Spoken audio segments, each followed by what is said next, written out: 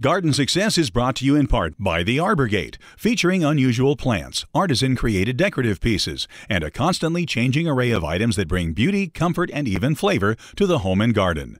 Arbor Gate, 15635 FM 2920, Tomball, Texas, 281 351 8851, or arborgate.com. Garden Success is also brought to you by The Farm Patch, 3519 South College Avenue in Bryan, 979 822 7209.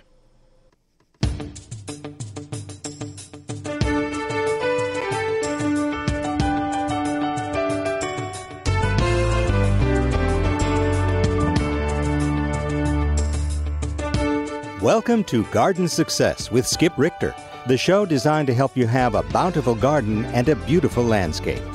Call in now with your lawn and garden questions at 979 845 5689 or email your questions to gardensuccess at tamu.edu. And now, Texas A&M AgriLife Extension horticulturist Skip Richter. Hello and welcome to Garden Success. Uh, today is a good day to be inside listening about gardening or talking about gardening on the radio because it's so darn hot out there. And I'm telling you, it, you know, every time I look and see 100 degrees over going to the horizon, uh, it's and not much rain in sight, if any. That's a kind of discouraging thing for a gardener. But we are going to talk a little bit about that today. Uh, we hope you'll give us a call with some of your gardening questions. If you will write our phone number down, it's 845 5689. 845 5689. Or if you would like to email me, uh, perhaps attach some pictures, you can email garden success, one word, at tamu.edu. And uh, if you will attach your photos rather than embed them in the text, it makes it easier for me to zoom in and uh, while I'm also trying to talk on the radio at the same time.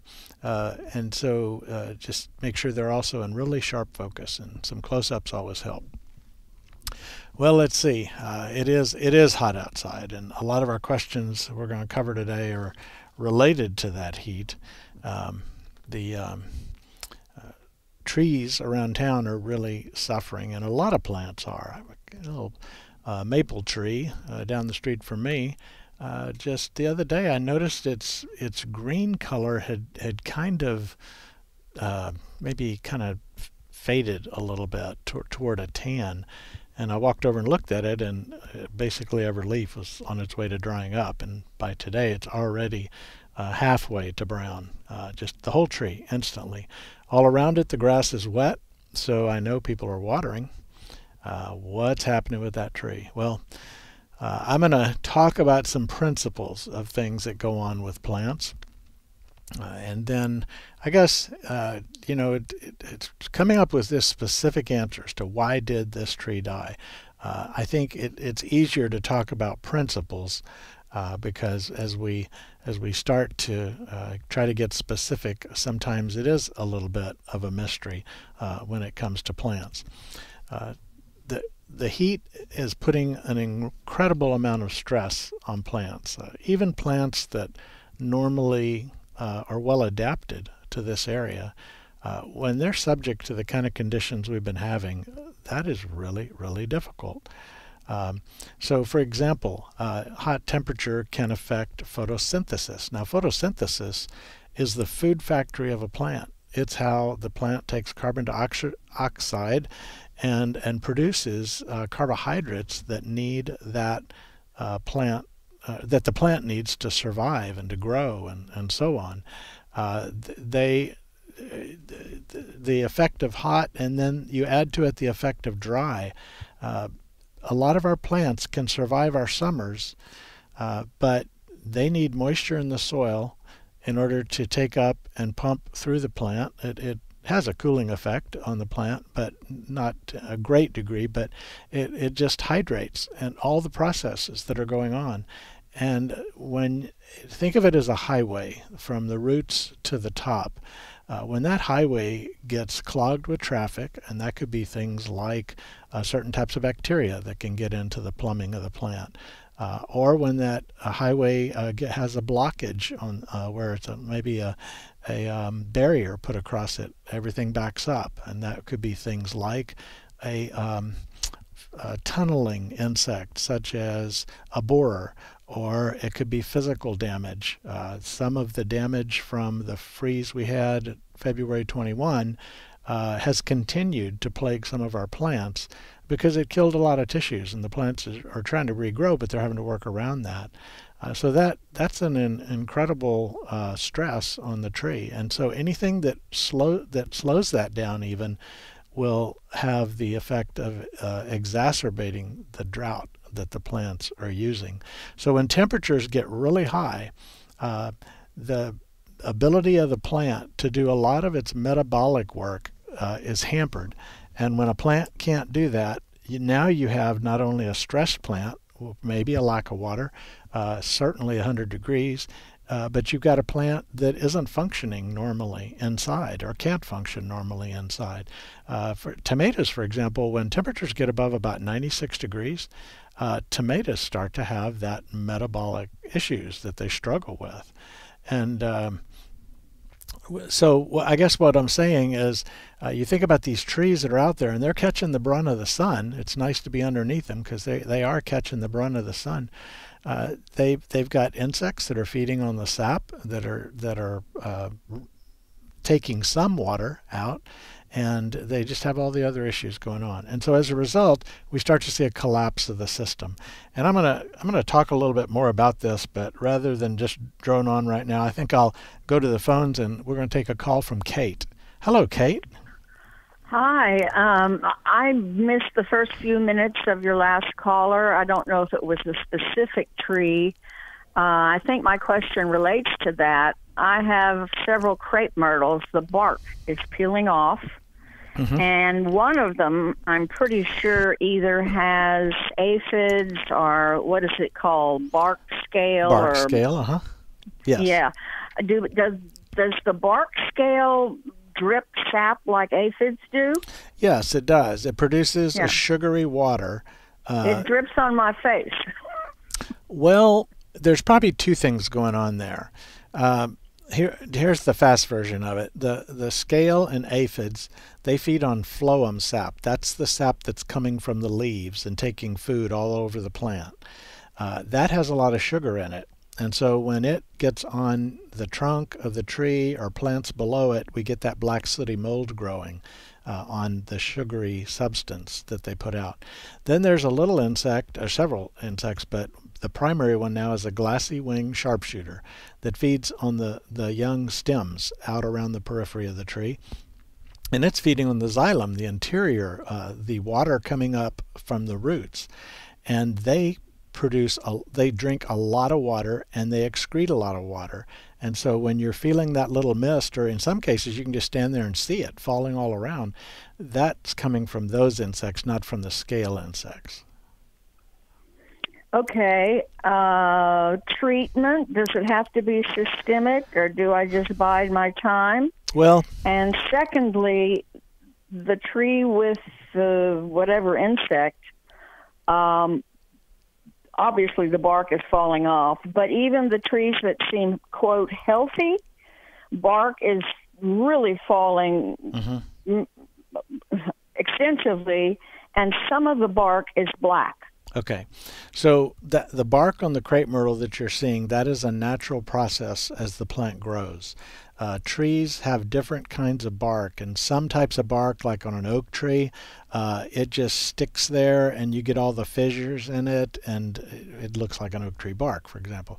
Crepe myrtles have bark that's kind of in sheets around the trunk, and as that plant expands the trunk, those uh, outer sheets kind of pop loose from their connection mm-hmm. to the next sheet below and then you get that it sort of curls and flakes off sometimes big sheets sometimes just little strips uh, but that's normal. And it's been happening now for several weeks on crepe myrtles around town i've noticed. Uh, it can happen you know you can see that any time of the year but it seems like uh, it's been more noticeable this summer. But that is absolutely nothing to worry about. The black on it is just again the sooty mold from the crepe myrtle bark scale probably that's higher up in the tree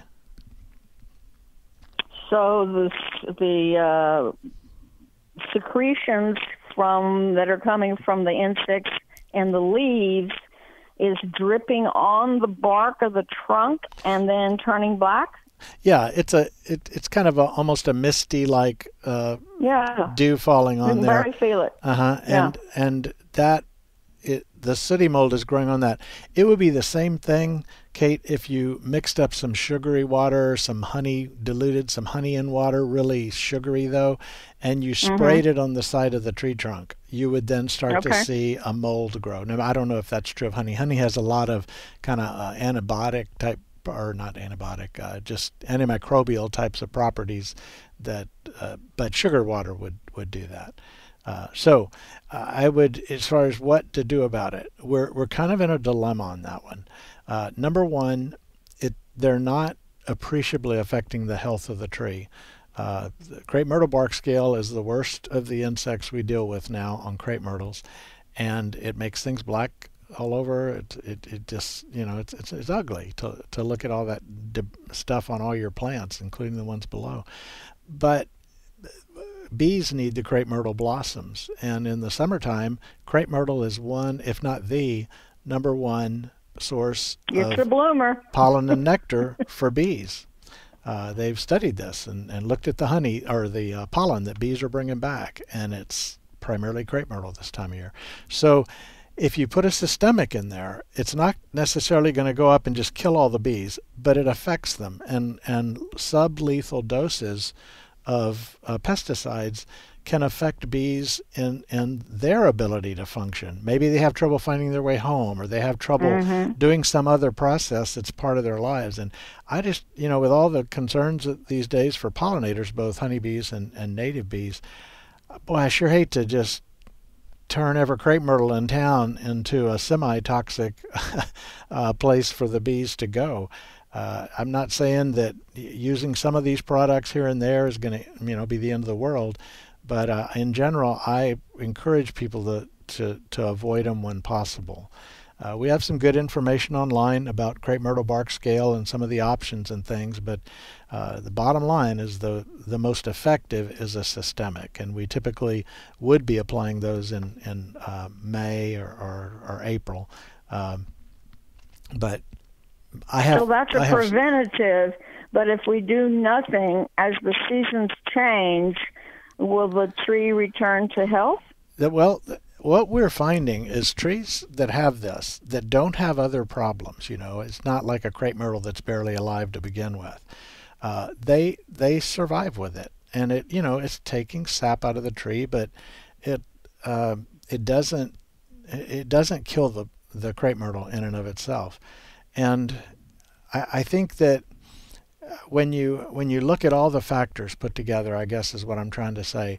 Maybe some other option would fit, depending on the size of the crepe myrtle and where it's located, uh, and so on. Uh, there are some surface uh, things you can spray. You could spray them at a time when the the bees aren't active on the blossoms yet, uh, and they would help control some of the proliferation of scale. The scale goes through a process. What about neem oil? Ne- neem oil in the in the trials we've seen has not been that effective, but an oil does smother small scale crawlers. Uh, an an oil application in and of itself, it's not the best thing that the best Okay. amo- among the best. And I, I would refer you to that that uh, publication because we could do a whole show just talking about this one pest. Uh, there's just that much information out there on it. Uh, but Texas A&M is part of a, a a group of southern universities that are studying this, entomologists from across the South, uh, and trying to figure out uh, what we go, where we go from here, uh, and trying to find a good solution. The, let me just say one last thing, Kate. Though, scale has its natural enemies, and they obviously are not eradicating the scale by any means, but they do move in and they do reduce the temper, the uh, uh, populations the, twice stabbed lady beetle. It's a little black lady beetle, the size of a regular lady beetle, that has two red spots, one on each side. Um, that's why they call it twice stabbed. It's real easy to identify. Uh, that one loves crepe myrtle bark scale. And as we kind of back away from just continually treating the plants trying to kill scale, uh, some of these natural enemies have a chance to come in and at least help with with the process. but there's not a good silver bullet that doesn't come with some kind of environmental uh, backlash. And I'm assuming you can't see this scale. Yes, you can. It's white and it's narrow. Uh, there is a there is a website, and I'm gonna pull it up here. I gotta find it. Uh, it's like crepe myrtle bark scale, crepe myrtle bark scale, CMBS dot. So uh, don't go to AgriLife. Well, it, it, it's produced with AgriLife information, and let me. I'm going to find it as as we're talking here, but um, I have trouble doing two things at once. I, I'm I'm doing this because I know there's a lot of people out there that uh, have issues uh, with crepe myrtle bark scale. So and go. All right, here we go. And the address of it, let's see, go through these. Myrtle bark, yeah. Wow. I mean, I may have to hunt it down and give it a little bit later in the um, in the uh, show. I'm not seeing it pop up as the top. But uh, Texas A&M AgriLife Extension uh, uh, entomology has information on crepe myrtle bark scale. As and if you just do a search for crepe myrtle bark scale and uh, uh, Texas A&M, you'll okay. it'll, it'll pull it right up and it'll give you a lot of information on it. Other southern extension services do. They each have a little bit different information on there, uh, but all of those would be a good source for trying to, to find out what the options are going to be. You are so helpful all the time. Thank you much. Well, thank you. I appreciate that. All right, let's uh, go back to the phones, and the number is 845 5689 and talk to John. Hey, John. Good morning. I got a, a question about our jujube tree. Okay. Uh, uh, according to Mary's book, it sends up suckers up to 15 or 18 feet away from the original tree. Uh-huh. Uh, are those suckers? Are they are they real jujube trees? I mean, if you dig one up, can you? Yes. Transplant it. Yes, they're genetically the same as the mother tree that they sprouted off of, that they're connected to. So, um, you you can do that. I I just jujubes are. Uh, there's a reason why you know you don't know where all the jujube orchards are in Texas because there are not a lot of them, and it uh, it they do grow here, and uh, they're very popular with some folks, and, and, a lot of people aren't familiar with them. But the um, uh, issue with that root sprouting kind of makes them uh, a little bit of a pain in the yard. Right. Well, we've got it kind of out in the orchard, so it's okay. we, we, can dig them up and move them, do do something with them. All right. Uh, the, also in the book, it talks about in the if you want to have a healthy, prolific tree, that in the winter time you should you should trim it back, cut it back, and and uh, shape it so that you you can. Of course, it's what it's saying is keep the keep the limbs below ten feet, so uh, you have a good a chance as the squirrels are getting it. And and uh, so we, so I, I think, but that's what it said for the jujube. But we've got April plum and and several other orchard kind of trees. Does that kind of that same pruning them back in the winter hold true for most fruit trees like that? Well, it, that's the best time to prune our fruit trees, uh, our deciduous fruit trees. Uh, I would, you know, put I would say some different things if we were talking about citrus, for example, but uh, things like apples and pears and, and plums and peaches. And we prune, we prune initially, we train the tree to develop strength in the branches so that as it gets to be an older tree carrying heavy loads of fruit, it doesn't split apart. Uh, we also prune and once a tree gets established to encourage new wood to grow. Uh, peaches and plums, there are and apples and pears, they're producing on last year's wood. Uh, you especially notice it on peaches, for example, where you get a shoot that grows this year and then next spring it blooms and fruits. And that shoot itself will never fruit again. But a side shoot off of it will then fruit the next year. So in pruning, encouraging new flushes of growth, we're, we're creating new wood for growing more fruit.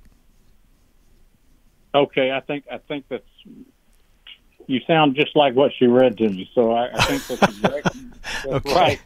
All right. But I just didn't know if it applied to uh, other fruit trees like that. You know, I I'm, I'm looking right now online. A and M has a publication on just about everything, but I didn't think that. Yeah, they have one on jujubes. If you go to aggie-horticulture.tamu.edu in the fruit and nut resources, there is a whole publication just on jujubes, and I would encourage you to take a look. It's got it's full color, beautiful. It, it's very helpful. It is. It. This is not a good time to be gardening. I have to agree with you. It on it not. No. It is. It, it's a good time to be inside bragging about the garden you used to have or uh, planning your next garden. All right. Uh, she asked me one more thing. Is it time to clean up blackberries? The- Y- y- yes. Once once we finish harvesting, if you can get down there at the bottom and cut those canes off at the ground, uh, you know, with some leather gloves and and uh, on your hand, just kind of pull them out. I use the pruners to help pull them out. Uh, then you all you've left behind is next year's cane, next year's fruiting canes, and that's a good idea. You want to top them off at about chest high, also. I think that you're absolutely right. They, we've let them get um, be a mess right now, so Yep. uh, we have to prune pretty heavily. Right, a briar patch is no fun. Yeah, if I wanted to give blood, I'd go to the blood center, not to the blackberry patch. okay, thank you. Skip. All right, take care, John. Let's go back to the phones and talk to Katie. Hello, Katie. Hi there. Uh, I have two questions. Okay. First one is on pears. The other one is on College Station water schedule. My pear trees are about 15 years old, 20 feet tall. What do I do to get a pear, or do I just kick, cut the top out? Um, they're they're how 15 feet tall. You said 20. 20. Very tall. of course, the heat is bothering them now. So so pears of all the fruit, they're the ones that want to grow straight up. And if you top them, you force them to produce side branches that go out and immediately go straight up. and it's it's very hard to encourage spreading open of the tree by pruning a pear. So what we do is we take those vigorous shoots and we pull them out to the side with a cord. I, if you don't have to mow around the tree, you can use a stake and a cord Yes. uh, or, or a weight out there that can be moved. And you pull them out to about a 45 degree angle, maybe 60 degree at the most, probably more like 45. Uh, and after they sit there for a while, in you know, a couple of months like that, that branch is now going to stay leaning out like that. And so rather than trying to prune and get a side shoot to go horizontal or not, you know, at that angle, we we let them grow up and but not get become very stiff, woody, big branches. But when they're still in a shoot time, uh, pull them out. You can also use spacers. Uh, imagine a yardstick with a notch in each end, or a ruler with a notch in each end. And as that branch is growing up, you put the ruler in and use this the trunk and the branch. Stick the ruler in the middle, and it holds them apart. That does the same thing if they're younger shoots. Good. All right, I've got notes. Uh, I missed the water schedule for College Station. We were told yesterday, last night, I believe, um, if you're odd uh, numbered or if you're even numbered. Do you have that information? Because I don't feel like calling the city. Okay. Um, let me see here. I'm looking. uh, Let me. I'm trying to pull it up here. I, I don't know it off the top of my head. So I have to call the city. Okay. Uh, well, just give me one second here. Um, I'll, I'll find it for you.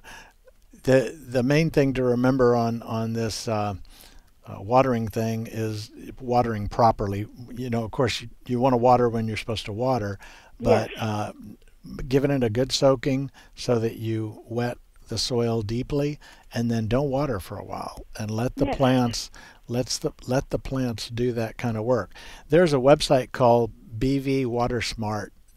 bvwatersmart.tamu.edu. Like Oh, but B- dear young man, I- I'm so old and I don't do things like Okay. you young people do. I have get a it. telephone. I get I get it. No problem.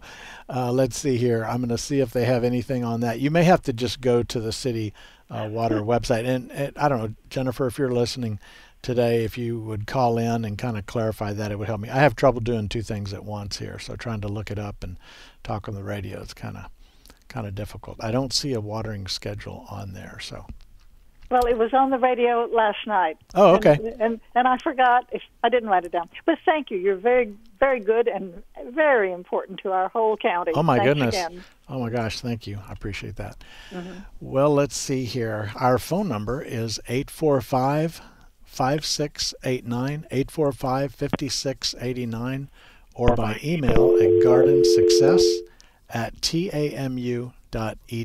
Garden success at tamu.edu. We've actually got Jennifer on the line if you'd like to discuss Okay, this watering schedule. let's let her clarify that before I muddy the waters anymore. Hey, how are you?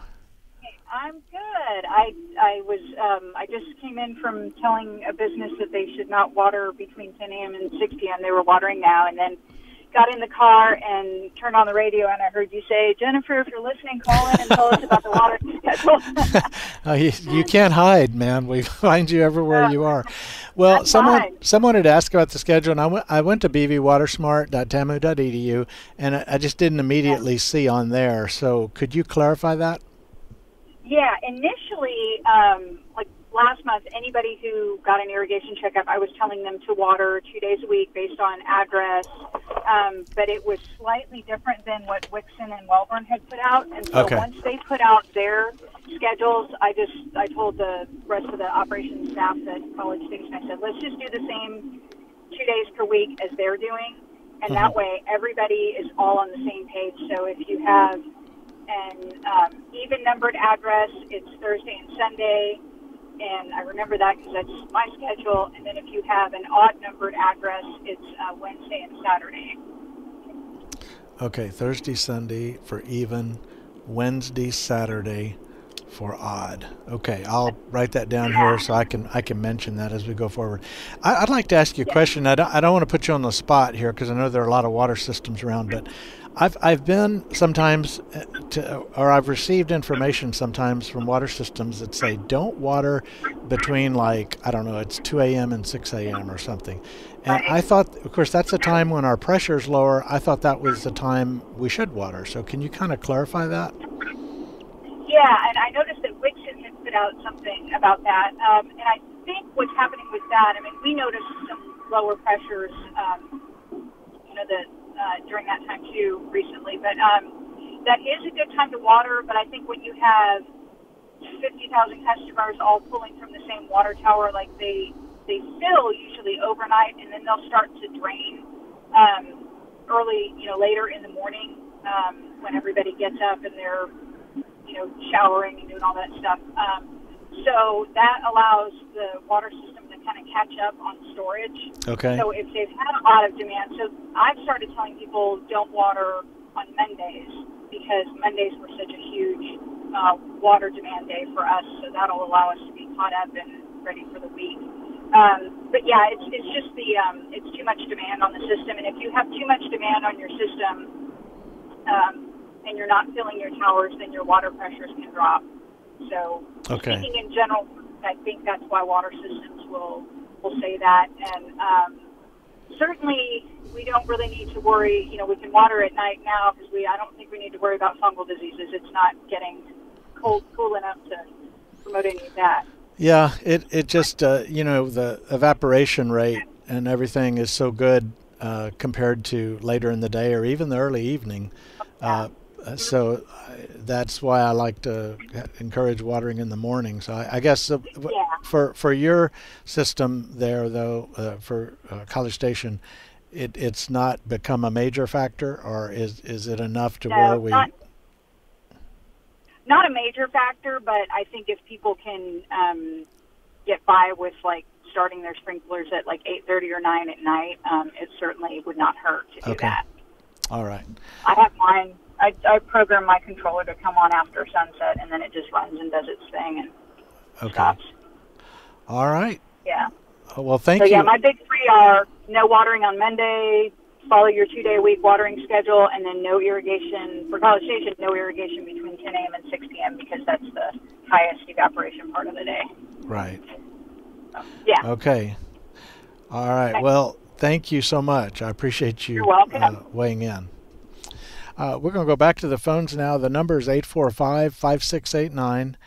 uh, and uh, we're going to talk to David. Hello, David, and thank you for waiting. Oh yeah, no problem. Um, thanks for taking the call. I am following up with a couple of photos that I sent in of the fig tree. Yes. And I have two fig trees. One is the Celeste, that's of interest, and the other one is a hundred feet away. It's a brown turkey fig, and the Celeste fig tree, the it drops a lot of leaves in the last two or three weeks, and it has a little bit of white uh, maybe it's mold on the leaves, but I'm not sure because I'm mm-hmm. new. Yeah, I saw your photos, and uh, the white almost looks like it might be where water sprinkled on the leaf and then dried and left the, some residue behind. Um, I don't. It doesn't look like mold to me, and so that's just my best guess. And if you don't have a watering system doing that, then I guess we got to go back to the drawing board and, and, try to figure out what it is. But the big issue for you is the leaf drop, and and figs will do that when they get stressed. Now the the water and the heat combined are stressing the figs, and and so that in, in and of itself could be causing leaf drop if the soil is not being kept adequately moist. The other thing that happens with figs is they get a tiny uh, worm-like creature called uh, nematode on the roots in the soil. And nematodes love figs, and they love okra too, by the way, and many other plants. But if your if your fig tree has a significant nematode problem in the roots, those roots are going to be really instead of long and slender, they look more like the Michelin man, if, if you kind of use that as mm. a hmm. mental picture. And the flow of water and nutrients through the roof is impaired. So now we've got huge demands and not only tending to dry out a little bit, but the water it has, it's having trouble getting it through there. So I think it's a combination of those three factors in one form or another. Okay, so I I would agree on the uh, probably some heat and and low water mm-hmm. stress. Mm-hmm. I think I had a week or two okay. that I didn't water, and then I realized okay, this needs to be watered directly. Um, a couple of mornings I I sprayed the leaves so I would not rule out the the water residue from our hard water. Um, and and maybe I, uh, there's just a little bit of a delay in the, in the plant responding and getting healthier mm-hmm. for probably one one and a half weeks. I've been very sure to to check the soil and get it moist. Yeah, yeah. I think so. Should I expect it to kind of recover in in a few weeks, and if not, then I have another problem like the nematode.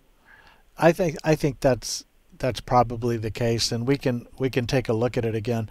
I tell you, I'm just seeing so many plant issues right now that um, it's really easy just to say hot and dry is the problem. And it, it can be other things, and it can be other things that contribute. You know, maybe uh, nobody is fully at, none of the causes are fully at fault, but uh, they're all contributing to it. Yeah. Oh, one more factor is this uh, Celeste is uh, one year versus a three year old and okay. um, the three year old is not, is in direct sun all the time, and the and the one year old Celeste is only um, it's it's shaded about half of the day under a, a bigger tree. Okay. And so I thought it would be doing better since it's less heat exposed, but it's it's struggle. It, the other fig tree is not mm. only dropped one or two leaves in the last several weeks. Okay. Looking pretty decent. Yeah, well, you know, sometimes the soil within an area is not evenly moist due to various things, soil type, pattern where the water flows, and, and whatnot. But uh, I, I just, uh, I just make sure make sure dig down a few inches, feel the soil. If it's not wet, I would give it a good deep soaking around that okay. tree. Uh, figs tolerate a little bit of shade. You know, they don't like it. They want sunlight uh, so they can make the carbohydrates, but uh, they'll tolerate a little bit of shade. But I don't think shade is causing the, the problem either on that fig. Okay. And right. probably the the neem oil uh, countermeasure is not so important for me to try it right no, now. No, I would would not. There's nothing there's nothing insect wise on that that fig tree for you to spray. Oh, okay. It says it says it's supposed to be like a fungicide, but I but yes. I'll, I'll just hold off. Well, neem oil, not uh, if it if it's the oil form of neem, it also has the ability to sm- uh, smother insects, and it has some some fungicidal properties, especially against powdery mildew. But uh, you know, bacterial scorch and all the other things, it's not going to do anything for. Okay. And figs don't. Okay, I'll- figs I'll don't, to my a- knowledge, get powdery mildew. Sounds good. Thank you so much. All right. Thank you for the call. Uh, we're going to go back to the phones now and talk to Edith. Hello, Edith. Hi. Hi, Skip. How are you? I'm well, thank you. Um, so I emailed a few pictures. I um, saw them. I okay, yeah. So I'm having trouble with uh, my petunias. Um, Mhm. I have two pots of them, and one of them um, completely dried out for the most part. Uh, the leaves are dead, flowers are dead. Um, but I'm noticing now those same black spots um, and those things that look like little seeds on my tomatoes now. Yes. So that's what's making me think that it's a pest. But I just have no experience with any of this, so I wanted to, Okay. to see what your opinion was. Yeah, well, first of all, uh, petunias in Texas summers are not happy Not and barely survive. Uh, and then you make it a Texas summer with 100 degree for several weeks and no rain in Mhm. sight, and, and now you, yeah, I know you're hand watering them, but uh, it's it's even worse. But Mhm. uh, as our spring petunia blooms begin to fade a little bit, we don't have as much bloom as we did early. You can go in and you can shear the plant back by about a 3rd And if you'll look at your plants right now, what you'll see is the foliage is way down further in the plant, and the ends of those long shoots have these little star-like strappy things that look kind of like leaves, but they're not. And the seed pods in there, and they're producing a lot of seeds. And so you just cut that back, all that seed production, and uh, then water and fertilize the plant and invigorate new vegetative growth, new leaves and shoots, and that can get it back into blooming again. Although I wouldn't expect in this weather it to be a very fast improvement, but you you can keep them going longer by shearing them back uh, when they start to go all twiggy with the with the blooms and seeds or, uh, the, and and then invigorating them. And I think that's the primary problem. Also, in your pictures, there's a lot of speckled leaves, and and Mhm. uh, th- there are a number of insects that suck the juices out of plants. Uh, one one common one you see around town is on lantanas. You look at a lantana leaf, and it's got all this whitish in the leaf. And that's a Mhm. little piercing, sucking insect. Th- They're hard to find. You know, you turn the leaf over and he's not there. Uh, they they know how to get away and be unseen, but they, they're hard to catch. But they do suck a lot of juices out of the leaves, and they'll turn a lantana leaf almost white eventually. And this is happening on your petunias as well. There are several different insects that can do this, and so that's where an insecticidal spray could be helpful. Um, uh, to to kind of shut them down and give the plant a chance. But you'll notice all of those long shoots that have bloomed and now have the pods developing on them, they just need to be cut back. And so I wouldn't spray that. I would cut them all back, and then if you need to spray, then you could do that. Okay, so even with this problem, you would still apply fertilizer. I would, uh, but Okay. not a lot of dry synthetics, which is a salt-based fertilizer. I would Okay. I would cut them back, and I would take one of the products you mix in water in a very dilute. The, look at the label; it'll give you a very dilute um, amount, and I might even dilute it a little more than that, and just use that to water the plants. And so you're not going to burn them with that. That is a super diluted form of that fertilizer. Okay, and that would work with the tomatoes as well. Yeah, tomatoes they they don't want to set in the heat, especially the larger fruited types. So with tomatoes, you can you got a couple of options. If your plants look bad, diseases, spider mites, you know, Mhm. just all the things, if they look bad, I would root the tips of those tomato shoots and get rid of the old mother plant and start over with fresh new ones. And now's the time to do that. So you have tomatoes in the fall.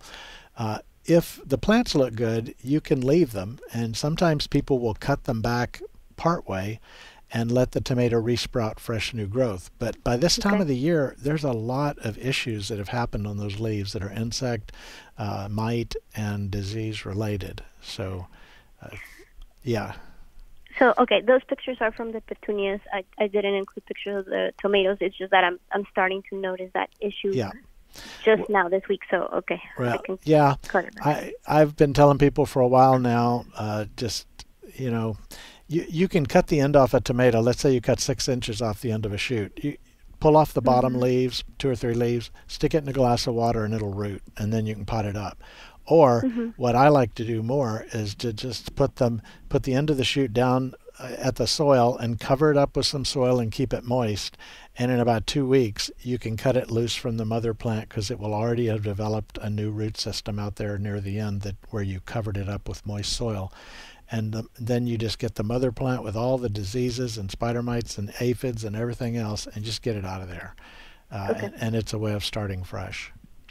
Okay, perfect. Um, is there any fertilizer that you would like any fertilizer brand that you would recommend? Yeah, we don't recommend brands. Um, the way to know how to fertilize your garden, like the tomatoes, is to have a soil test done. Uh, you can go to soiltesting.tamu.edu, soiltesting.tamu.edu, and you can find the, it's called the Urban Soil Test Form. It, click click to it on the website and uh, fill it out and take your soil in. It'll tell you how to take a good, accurate sample and they'll give you the results. And then what you'll see is, well, maybe I don't need any phosphorus, or maybe I need a little extra magnesium. And you can fertilize the soil and build up that bank account exactly with the right things rather than just buying a store bought blend that's going to have some ratio of nutrients that may or may not be the best for your particular garden soil. Okay. All right. makes- Thank you very much. All right, Edith. Thank you. hmm Bye-bye. Our phone number 845 5689 845 5689 or by email at gardensuccess at tamu.edu. Uh, I want to let's see. Uh, Bob had a question about some wax myrtles. The leaves are kind of shriveling, turning brown, and dropping. Uh, two different bushes planted fairly recently, but at different times fairly recently. And uh, again, I think that when you put a new plant in the ground, it takes a while. If it's a tree or shrub uh, we're talking about here, it takes a while for them to develop a somewhat extensive root system. So their roots are reaching far and wide to get moisture wherever it can find it. And so a, a new plant still has its roots in that cylinder of soil that came out of the pot. Uh, and as a result, uh, when we go into hot dry, it, it would be almost as if that was sitting in a pot on top of the ground still. Uh, and so, how long does it take for that little pot to dry out? Well, one day typically. Uh, and so, you put it down in the ground and you're watering all around it, and the soil is moist, but that little root ball there is pumped dry quickly, and water's not wicking in from the sides fast enough. Uh, and that's what makes summer such a touch and go time to plant uh, because we you can plant in summer, but you got to keep that root ball wet without keeping it soggy wet and cutting off oxygen to the roots uh, until it gets roots established. Uh, and I think that's probably what you're seeing. So I would just, you know, kind of reach down around the plants. I keep saying this, but the, the, the best moisture meter is the fingers on the end of your hand. Uh, and I say the best, meaning you can reach down there, dig a few inches down, and feel the soil. And you don't get the exact reading that way, like a, a technical instrument would give you, but you can tell the difference between, hey, this is getting dry, or this is sopping wet, or something in between, and water accordingly. Uh, it doesn't mean every day when you water you got to go out and feel the soil, but you kind of get an idea where these plants are and where this soil is. Some of you listening have sandy soil, some of you have clay soil. Uh, some of you have well amended soil in raised beds that store bought mixes uh, uh, for bed mixes, uh, and it's all it's all different. So. I hope that hope that helps, Bob. Uh, I don't think you're dealing with any disease unless you absolutely waterlog the plants for extended periods of time, and that root ball is sitting in a hole in the clay, and it's essentially an underground bathtub. That would be the only other possibility, but I don't think that's the case there. Uh, let's see. Uh, Ronnie uh, had asked about a mystery weed and sent me a picture, and that is crabgrass, and he wanted a selective herbicide. Uh, you you can't kill grass in grass. Like if, if you've got grassy weeds in your St. Augustine or zoysia lawn, uh, you can't spray something and kill the grass but not the lawn. But there are things that kill grass but don't kill broadleafs. So if you have grassy weeds growing in your petunia beds and your lantana beds and things like that, there are products you can spray that will kill the grassy weeds and not kill your desirable plants. And those uh, have names that indicate what they are, like a grass begone type name, uh, grass getter, grass beater, those type of things. And the ingredients, uh, and fluazifop, typically sethoxydim uh, is what you find. You go to a good garden center that uh, has folks that are uh, trained and educated to help you with, with finding the answers to those kinds of things, and they can direct you to those products. Uh, crabgrass is an annual. Uh, it does reseed profusely, but it's not the plant itself won't be there next year, uh, but its seeds will be around. So getting rid of it before it scatters too many seeds is a good idea. The real problem uh, with weeds is bare soil. Uh, wherever uh, the soil is bare, nature plants a weed. That's a good saying, and it's true. Nature does not like bare soil, and that's that's good because bare soil is not good for the earth. I mean, it erodes, it crusts, and all kinds of issues. So nature covers it up with weeds.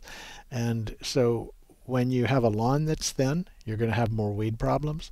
Uh, I'm seeing lawns all over town that are being watered or not watered at all or barely watered, and, and they're they're going to hit a stage where if it ever rains again, they'll bounce back, but they'll bounce back very thin with a lot of places where sunlight can hit the soil.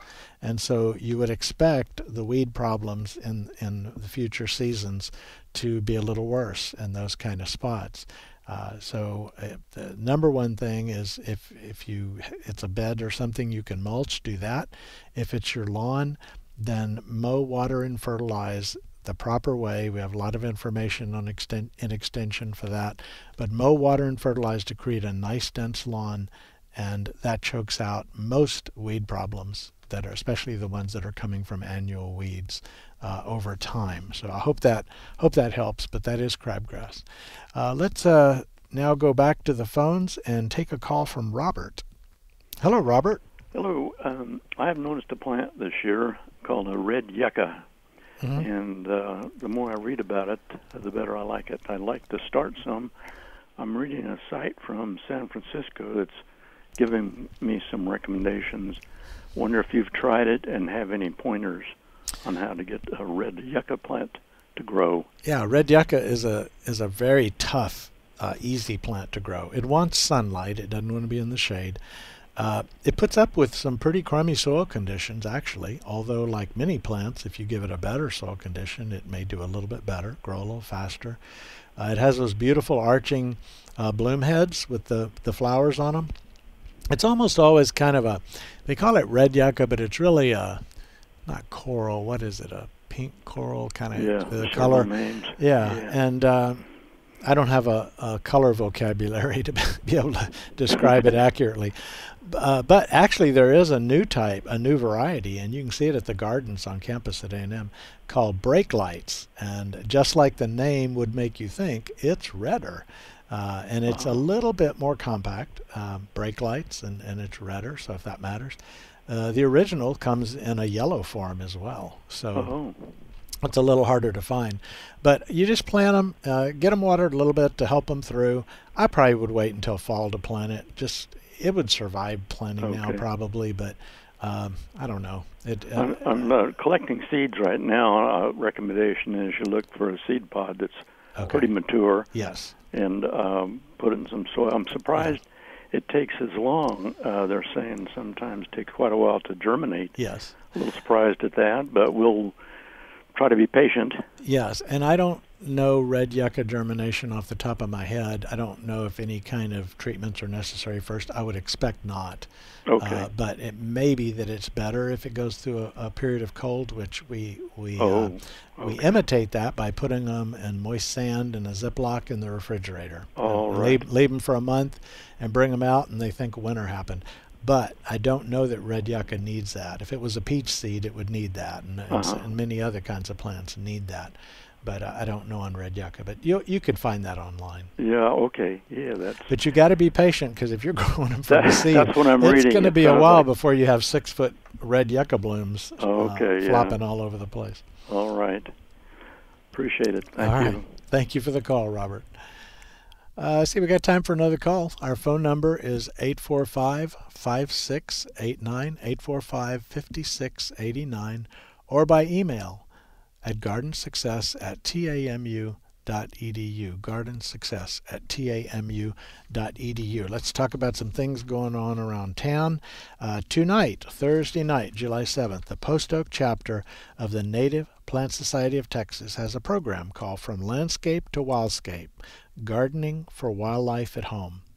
Uh, Laura Simpson will be speaking on that topic, and she has been transforming her Houston home gardens and into pollinator friendly habitat.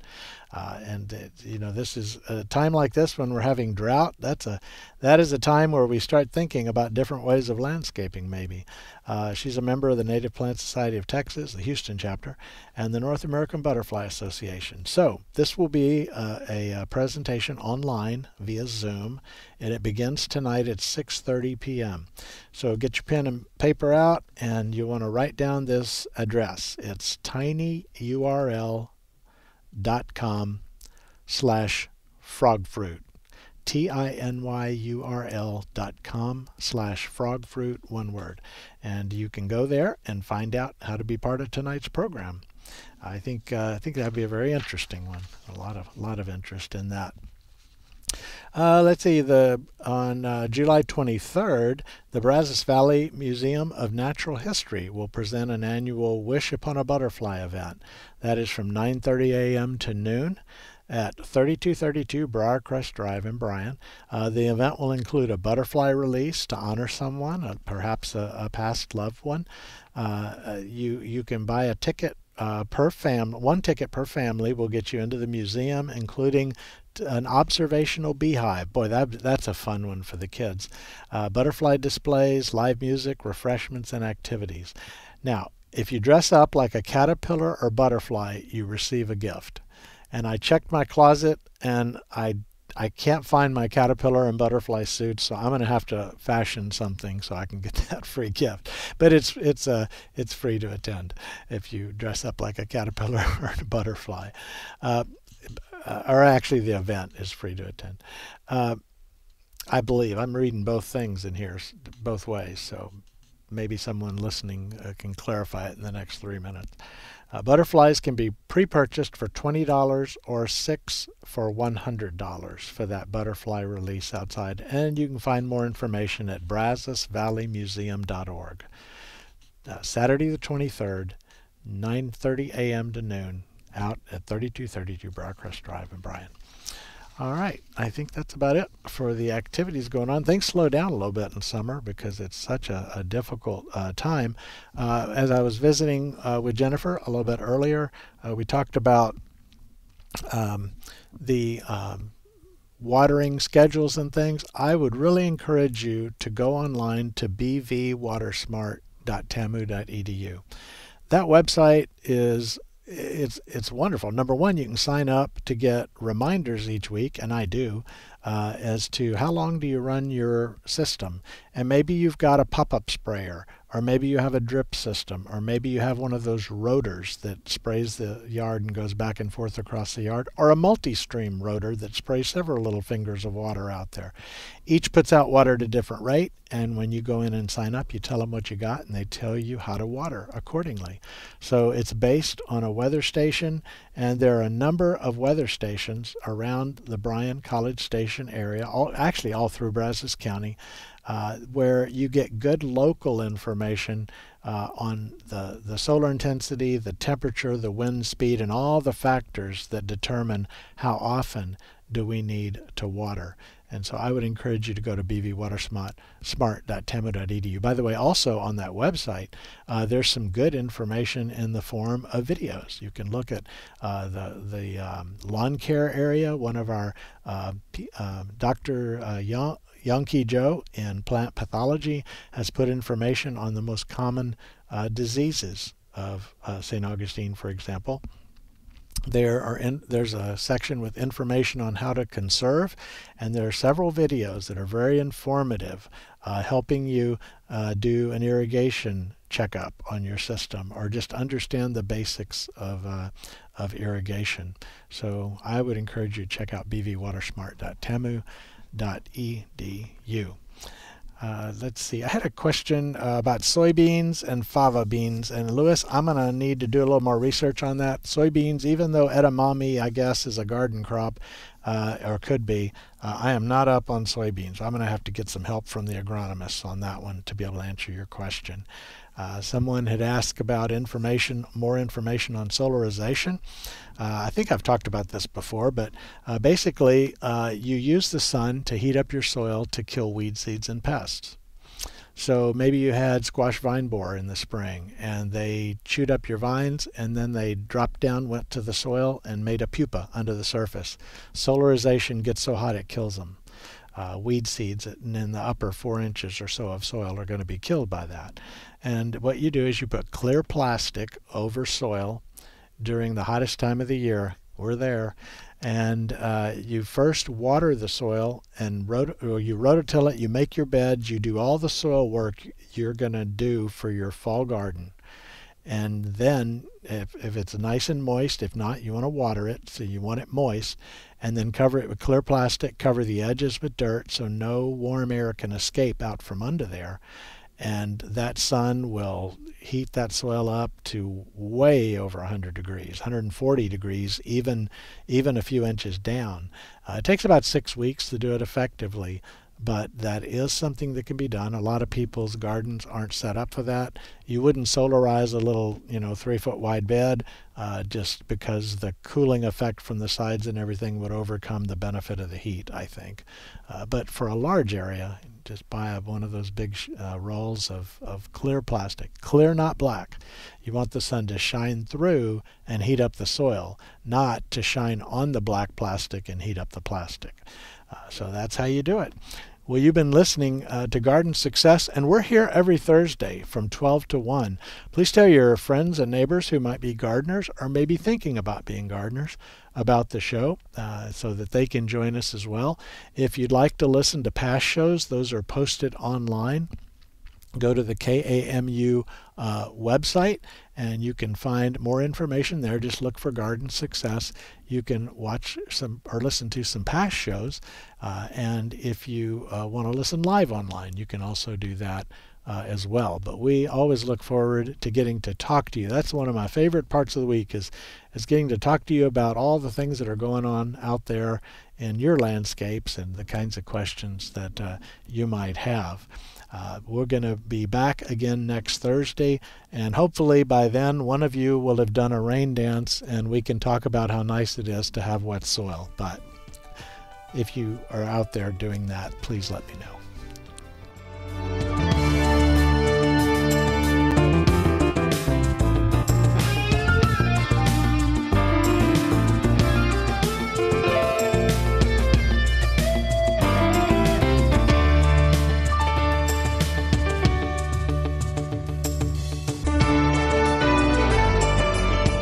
You've been listening to Garden Success with Texas A&M AgriLife Extension horticulturist Skip Richter. Join us again next week as Skip discusses your questions about gardening and landscaping in the Brazos Valley. Garden Success is brought to you in part by The Arbor Gate, featuring unusual plants, artisan created decorative pieces, and a constantly changing array of items that bring beauty, comfort, and even flavor to the home and garden. Arbor Gate, 15635 FM 2920, Tomball, Texas, 281 351 8851, or arborgate.com. Garden Success is also brought to you by The Farm Patch, 3519 South College Avenue in Bryan, 979 822 7209.